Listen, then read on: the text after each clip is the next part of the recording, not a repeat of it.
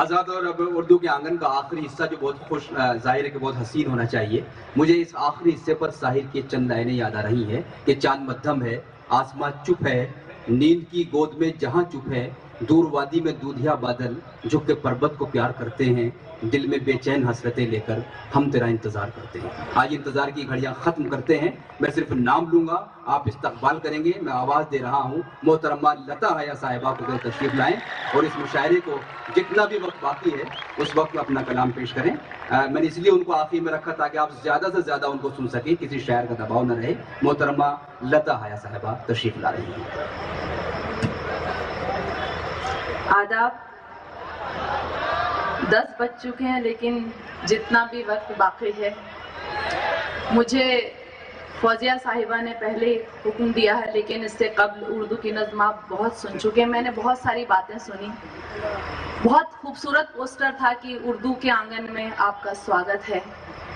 बहुत मेराज साहब ने कहा कि एक ही मंच पर दीपक जी और मैं मौजूद हैं। हसन कमाल साहब ने कहा कि हिंदी, उर्दू में बहुत थोड़ा सा फ़र्क है, वो महबूब से बातें करती है, वो महबूबा से बात करती है। उर्दू ने जितना स्वागत मेरा किया है, मुझे यकीन है कि शायद किसी का ना किया होगा। और मुझमें दोनों मौजूद हैं, मेरा नाम इस बात का गवाह है। मैं इस बात को इस मंच से कहने की कोशिश कर रही हूँ, मैं कोई फ़र्क महसूस नहीं करती, सुनिएगा। मैं मैं ब्राह्मण खानदान की लड़की हूँ, सुनिए। मैं हिंदी की वो बेटी हूँ जिसे उर्दू ने पाला है। मैं हिंदी की वो बेटी हूँ जिसे उर्दू ने पाला है। अगर हिंदी की रोटी है तो उर्दू का निवाला है। लेकिन अब अब यहाँ से मैं सच बात कर रही हूँ, दिल की बात कर रही हूँ, सुनिए। मैं उ- मैं हिंदी की वो बेटी हूँ, जिसे उर्दू ने पाला है। अगर हिंदी की रोटी है तो उर्दू का निवाला है। मुझे है प्यार दोनों से, मगर ये भी हकीकत है। मुझे है प्यार हकीकत है। लता जब लड़ खड़ाती है हया ने ही संभाला है। और देखिए मैं दोनों मंच आज हिंदी कवि सम्मेलन पढ़ रही हूँ कल मुशारे पढ़ रही हूँ अब बात को आगे बढ़ाती हूँ। मैं जब हिंदी से मिलती हूँ तो उर्दू साथ आती है। और जब उर्दू से मिलती हूँ तो हिंदी घर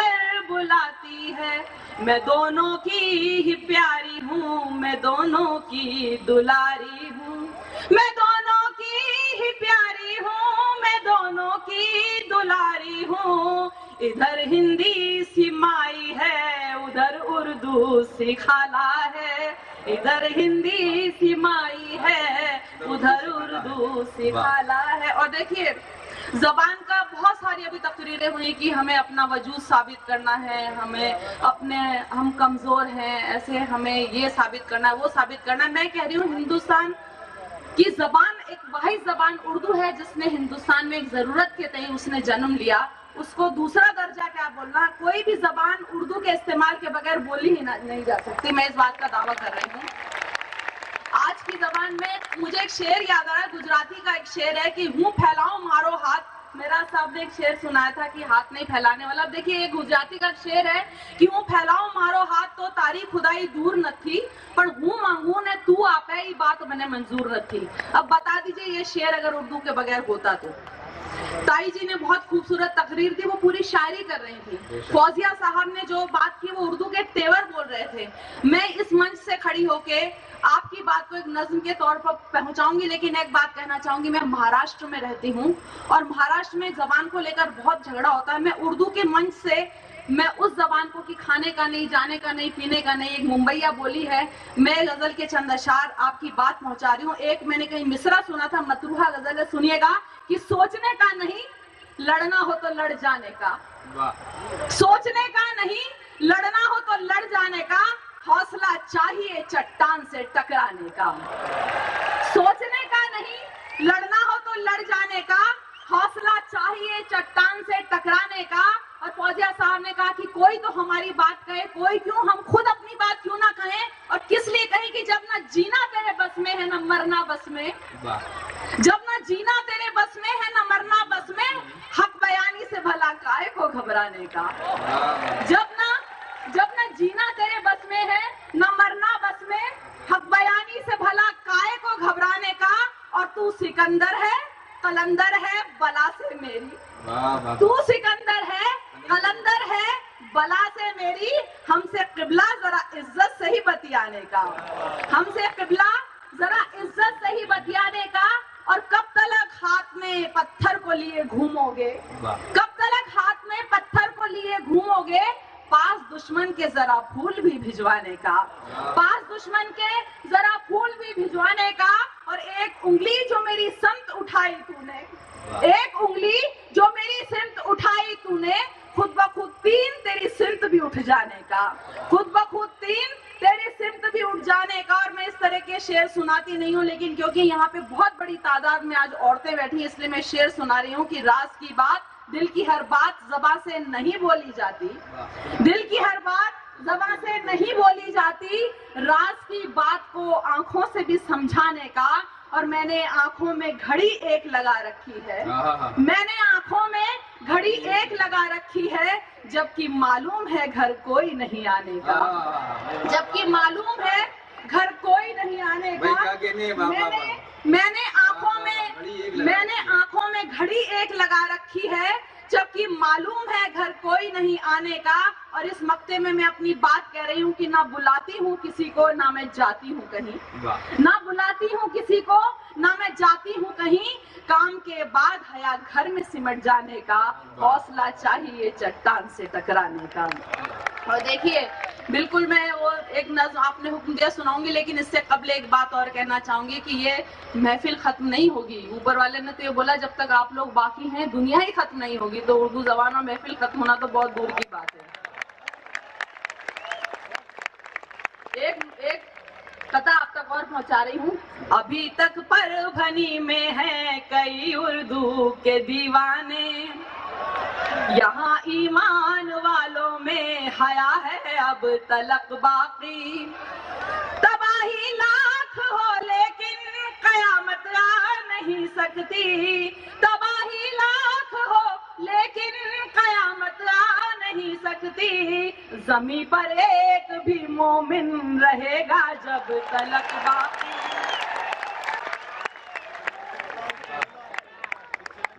शुक्रिया।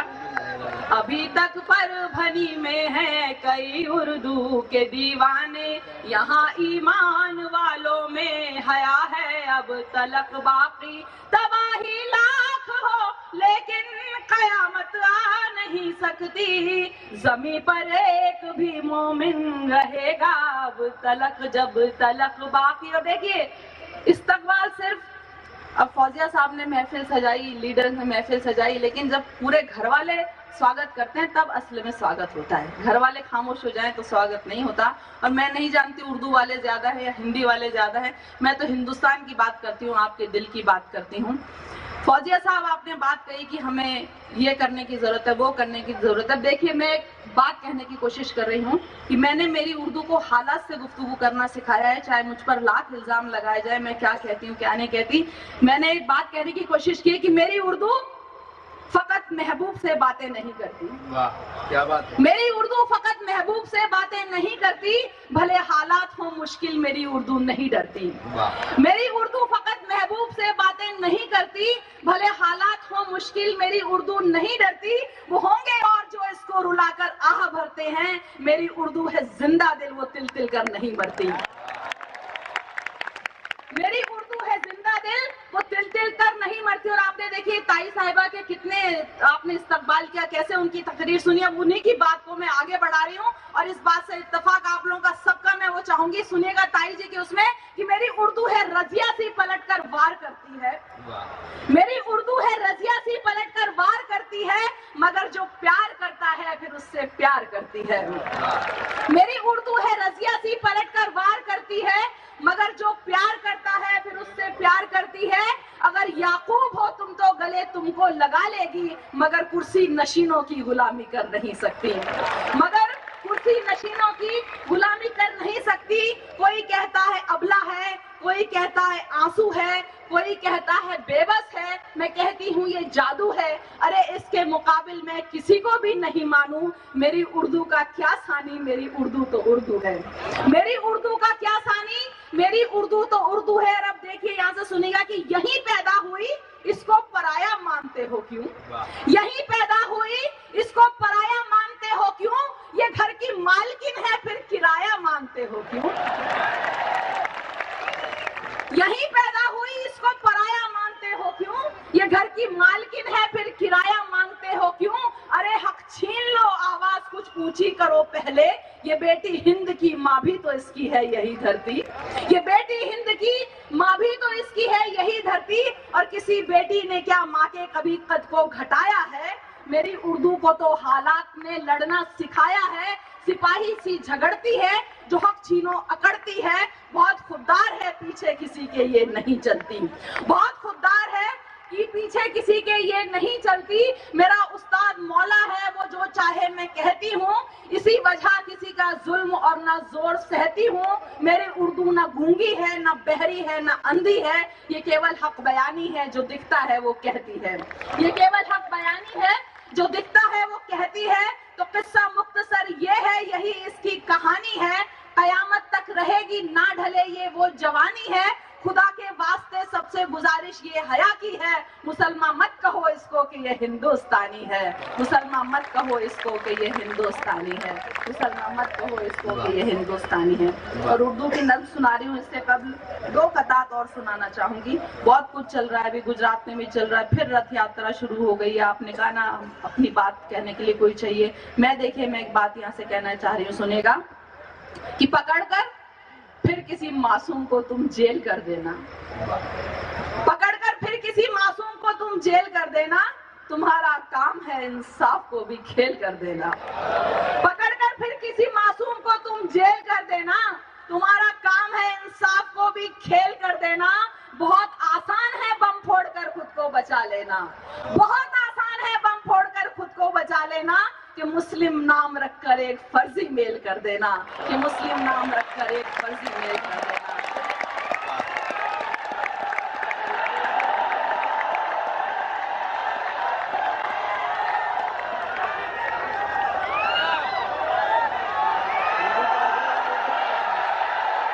आइए भाई, आइए। लता साहिबा लता साहिबा तशरीफ़ लाइए। मैं दरख्वास्त कर रहा हूँ, आप सबकी जानिए। से चंद शेर और पेश करती हैं। उसके बाद मुशायरा ख़त्म होगा। आ रही है लता साहिबा आप लोगों की फरमाइश पर। आइए तशरीफ़ लाइए। आ रही हैं तशरीफ़। जी।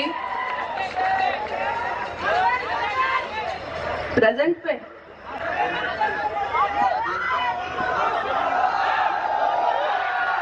मैं उससे भी बढ़ के बात बोलूँगी। मैं तो आज की बात बोलती हूँ आप लादेन की बात कर मैं आज की बात बोल रही हूँ फिर उस नज्म पे आती हूँ। आपकी बात बोल रही हूँ कि कुछ राज अपने मुल्क में दफनाए गए हैं। कुछ राज अपने मुल्क में दफनाए गए हैं इल्ज़ाम बेगुनाहों पे लगवाए गए हैं लेकिन ये बात साफ़ है हेमंत कर करे मारे नहीं गए हैं जी मरवाए गए हैं।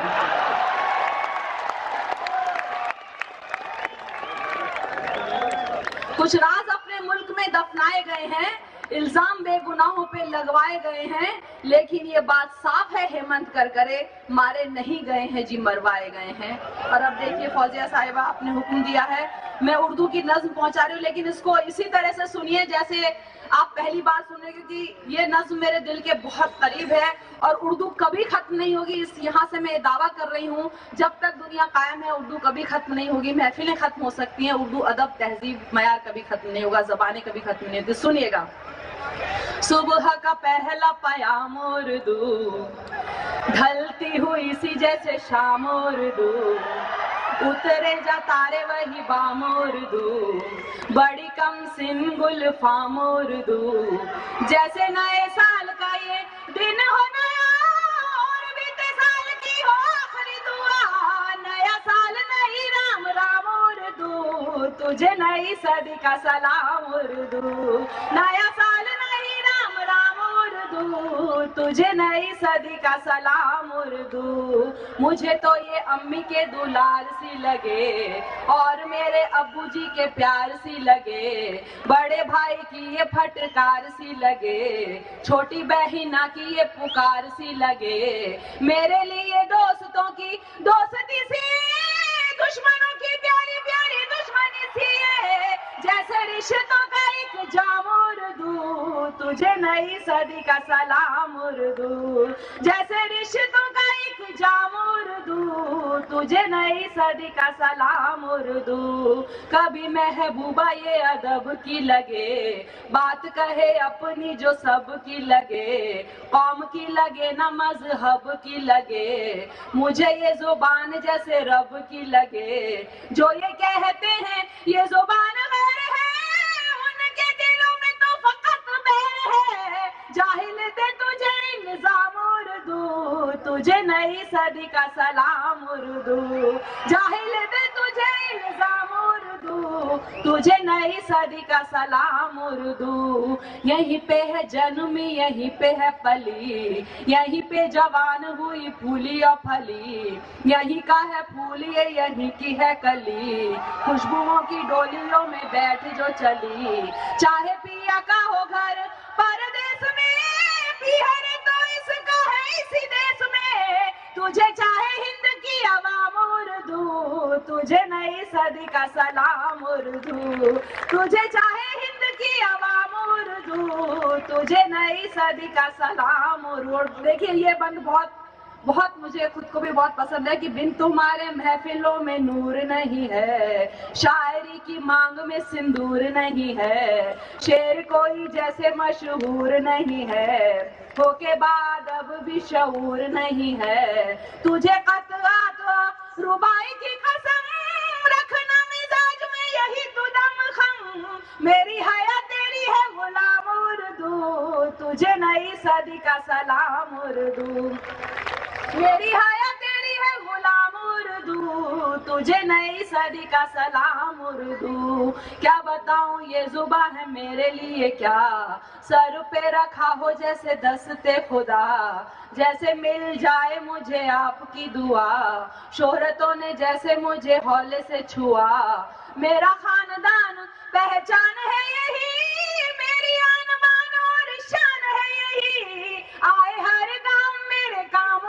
उर्दू तुझे नई सदी का सलाम उर्दू। आए हर गाँव मेरे काम उर्दू। तुझे नई सदी का सलाम उर्दू। और भी हसीना जवान तू बने, और भी अजीम महान तू बने। दिल बने किसी का ईमान तू बने, किसी का खुदाया भगवान तू बने। और क्या दुआएँ दूँ मैं तुझको सखी?